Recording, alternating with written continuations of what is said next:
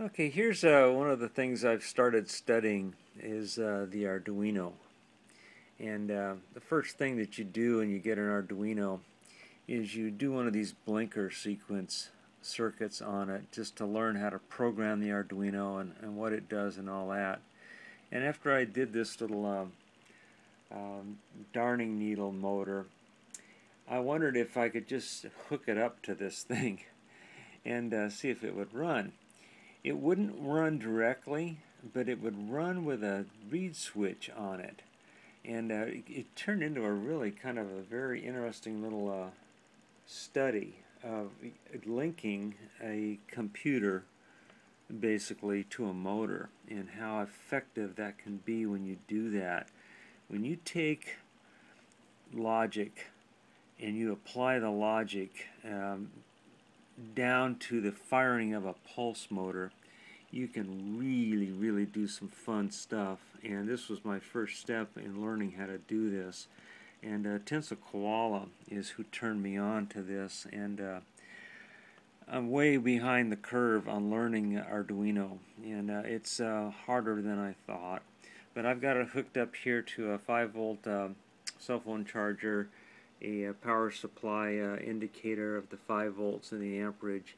And then this is a sequence blinker that uh, blinks for so many microseconds in a sequence over and over and over again. It's looped. And on this one right here, I've got a reed switch in series with it. So when the magnets go around there, I'll stop it here. When these two magnets go around there, they trigger that reed switch.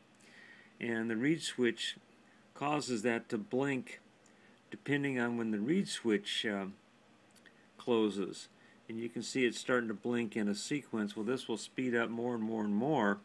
And what that means is I'm firing this thing not all the time. I'm only firing it part of the time. And uh, that can be a real advantage when you're doing pulse motors, is you can uh, play around with the uh, the timing on that thing very, very, very accurately when you tell that electromagnet to push against the permanent magnet. And uh, I just thought this was uh, rather interesting. This is what it sounds like. Hear that?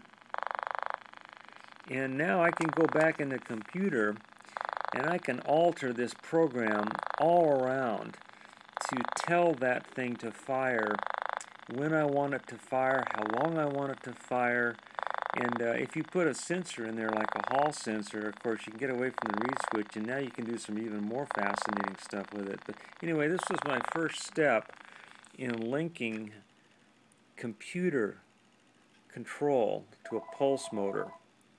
Thanks for watching.